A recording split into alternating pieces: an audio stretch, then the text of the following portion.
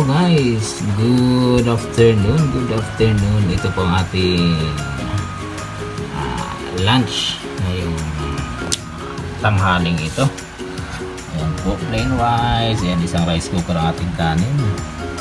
Ayan, isdang uh, Bicol po yan na isda. Yung usuos. Ayan, usuos na prito. Ayan ang sausawa natin. Uh, kalamansi toyo na may sili. Ito ang ating panghimagas. Choco. Moko. Ayan, plain water lang tayo. And guys, yan itong ating tanghalian for today's.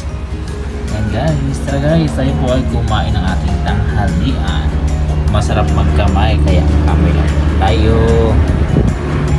Mega mega love shoutout po sa inyong lahat yan. Enjoy watching and sana ay mabusog po kayo sa aming tanghalian. And guys, tara kain na po tayo.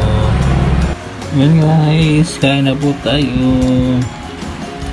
Yan guys, kakamay-kamay lang po tayo sa ngayon.